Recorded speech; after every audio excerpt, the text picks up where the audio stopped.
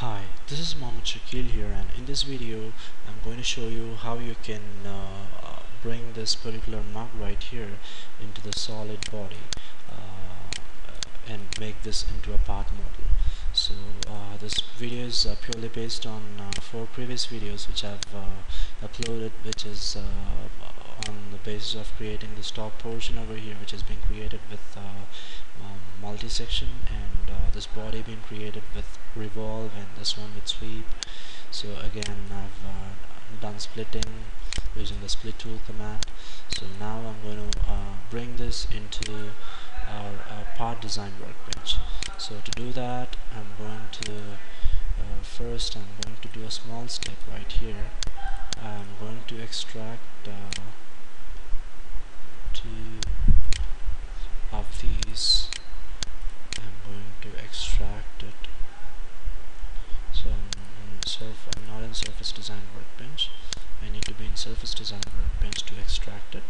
So you need to uh, go through my uh, previous videos to know uh, how to do the extract command if you haven't gone through.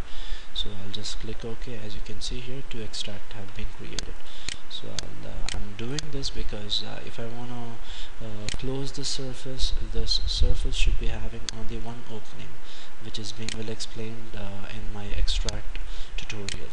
So now I'm going to split this surface uh, with the help of uh, these two extract right here and I'll click OK. Now it has been done. Now I'll to close the surface. The whole surface should be in one join. So I'm going to select this one by one. I'm going to add the first one being created with multi-section and next one the split and next one this one. I'll click OK. Now everything is in one join.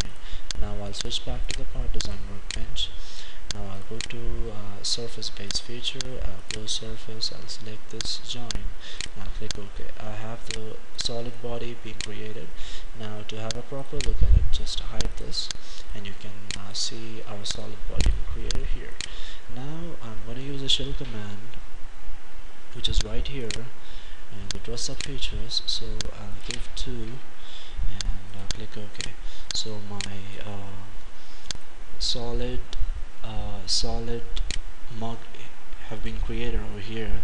So this complete this tutorial and uh, the coming up is uh, giving material for this mug so I hope you don't miss that tutorial. So I hope you, you could follow whatever I have uh, taught you in this tutorial.